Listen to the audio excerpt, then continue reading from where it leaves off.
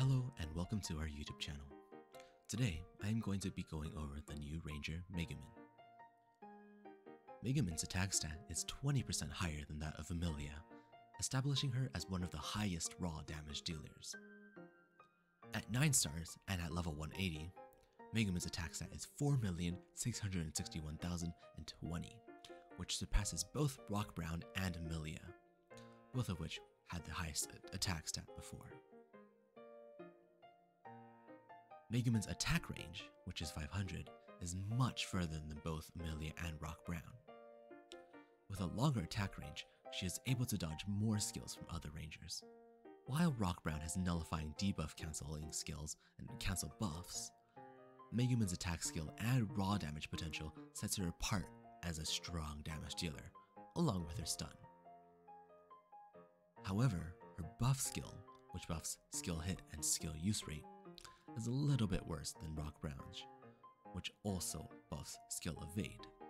Furthermore, Megumin's abilities include Deployment Freeze, one of the strongest abilities in the game, and her 9-star ability has the unique capability to nullify skill resistances, enabling her to ignore Wood Ranger's skill resist.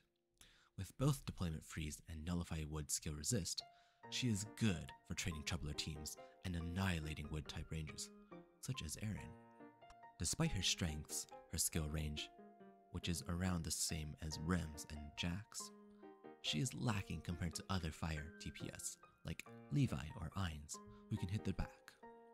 On the other hand, Rock Brown's skill targets only the back, bypassing the first few ranges and hitting the backliners, easily killing them. She has a high damage skill, but since she does not hit the back, she may fall off in the future. In conclusion, Megumin is definitely stronger than the average ranger.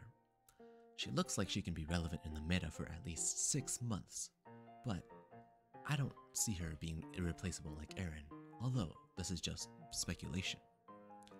It is recommended to get her right now, but since next month is January, and that's when the Light and Dark Rangers come back, you may want to save your tickets for them instead. However, if you have enough tickets, try to get her. But do save some for the Light and Dark ranges for next month, and don't worry if you miss out, since she isn't really needed if you already have Ainz or Levi. Thank you very much for watching, and see you in the next video.